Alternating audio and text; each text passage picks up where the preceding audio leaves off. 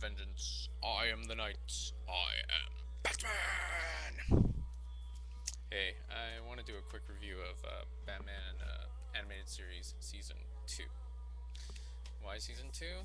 Well, um, you know, Batman the animated series really revolutionized animation. Really revolutionized our take of Batman. In the past ten years before that, we had the comics, especially with like Killing Joke, Dark Knight, just and the Tim Burton movies really just really making big hits, but the animated series went further and it kind of showed us a Batman that was more of a detective and ex- kind of like a little bit easier to swallow for, you know, l- logical, not not just for movie tricks, you know. There there are things about movies that they can get away with.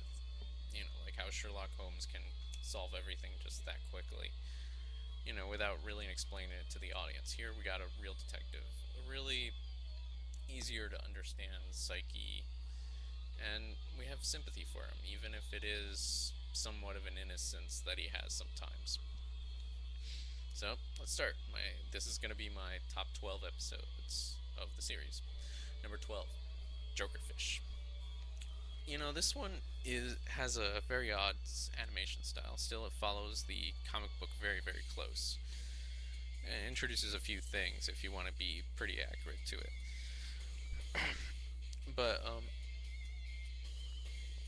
what's good about it is um, it shows Joker more of a bully, unlike uh, other takes where he's like the the whimsical clown, but it still it makes sense to have him as a bully to explain how he works with his henchmen or how he can get to where he is. And this is a really funny episode. Definitely, I love the theme song, the Jokerfish theme song that runs on the TV. Sing it often. Okay, episode 11. If you're so smart, why aren't you rich? The episode that introduces us Riddler.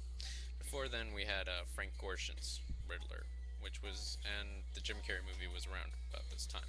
So we got a nice redesign, a nice logical, as a toy manufacturer who kind of has a lot of envy and uh, just easy to like get angry over his own ego. Such a great character. Okay, number 10. Uh, Tyger Tyger. This one's more of a monster movie in that like we're talking about classic Bride of Frankenstein. In fact, the main villain is uh, modeled after the the Doctor and uh, here we get a really nice, sympathetic villain, which is really one of the reasons why everyone loves Batman movies. And you know, the the monster is fascinating to watch, while still giving a really great tension as he's chasing after Batman. Number nine. Day of uh, this is two episodes, but I'm just cramming it into one. Day of the Samurai and Night of the Samurai. The thing that um, this series did so well is it brought in a really interesting origin of Batman, and it did it didn't force it down our throats, didn't didn't make it too hard to follow. It made it nice and interesting and pretty much logical. So here we get to see early Batman and the envy nin- uh, samurai uh, that was envy of him and becomes a ninja. What's interesting about these episodes is the animation style unlike most of the episodes, which have this really, really nice Japanese anime look to them. And by that, um, they had this beautiful movement that was just stunning, and that's because of some of the animation companies that they got to work on it. And at its worst, it looked like kind of like those old Dick Tracy episodes. They were pretty poor, nice design, but still it was hard to follow. I mean, later once they got to using computers in Superman and uh, and uh, Batman Beyond, those poorer episodes looked a lot, lot better. But still, uh, this one has a unique style, and I really, really like it. Now, number eight, off balance. What's interesting about this episode is it sets up the uh, sets up a build up to Ra's al Ghul. Joking. That's the Batman Begins pronunciation, which is just embarrassing. But um, Ra's al Ghul and his daughter and Vertigo.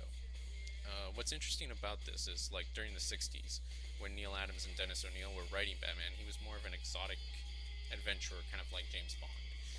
Now, uh, here they set up a really logical and a good reason why to have Batman off of Gotham City, as well as bring in Talia and the League of Assassins.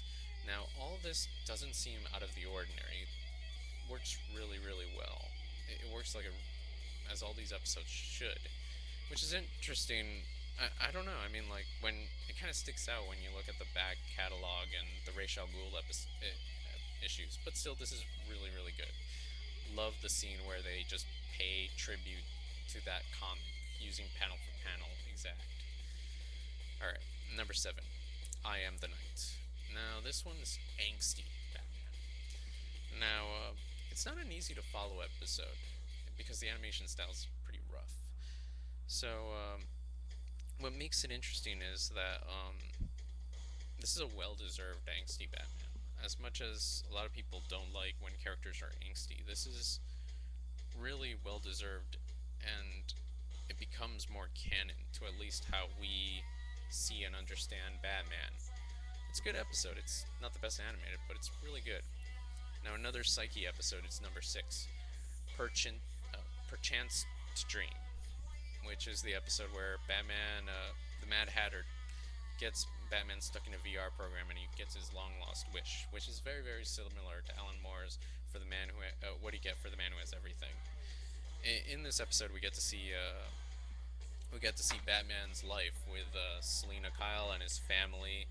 This is a normal guy, not as the master detective, martial arts, amazing guy that we all grew up with. What's interesting about it is you do build a lot of sympathy towards Batman, and a lot of that is because of Kevin Conroy's voice acting. There's a lot of emotion in there. There's a lot of. It's really an amazing performance. Okay, now let's go on. Uh, number five, Zatanna.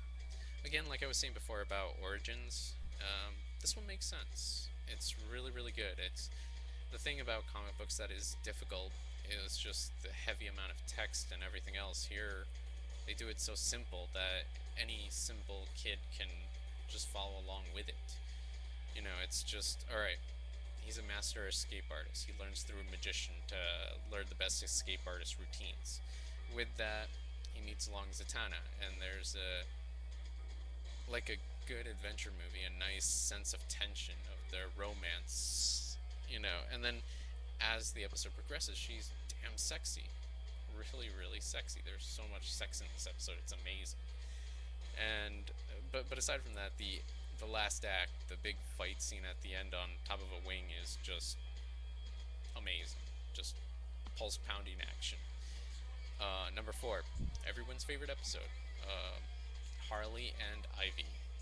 What's beautiful about this episode is just how relatable the relationship between Harley and Ivy are. And they are such they're they're every girl out there. Every girl that can somehow are befriend one another through even though they annoy one another. But still they stick together with one another. That's what's beautiful about them. You know, outside of them being so darn beautiful. But uh, again, the Joker comes in, and like I said before, he's more of a bully. It's it what it's what makes his character so interesting and very very much more realistic than any other take of the Joker before. Okay, still the and also the animation's top notch in this episode, and Montoya has one of the best scenes ever, and you'll see when you watch the episode. Okay, number three, the man who killed Batman. Again, what's interesting about this episode is it shows the hierarchy of the criminal underworld and how it works out. What um, as Sid the Squid is going under the presumption of being the one who killed Batman, there's many episodes in here that show the point of view of what people think Batman's like and how they perceive him. And again, this episode does it really, really well. Has one of the best animated Joker moments. Now, unlike the other episodes that use Japanese animation and it looks really stylish, here they, they push those emotions, and it's just some of those best keyframes you've ever seen in your life. The way how Joker just has that sense of like bile just building up as he's just talking about this guy. It's just so brilliant. And again, it's just one of the best Joker episodes. This is the best take of the Joker we've ever seen ever. Okay, number two, one of my personal favorite, Joker's Reckoning. This is uh, basically, uh, I'm sorry, Robin's Reckoning. kind of being out of it. But still, we get to see a little bit more of Robin, and as he's uh, trying to, uh, as he discovers that the man who killed his parents is on the loose.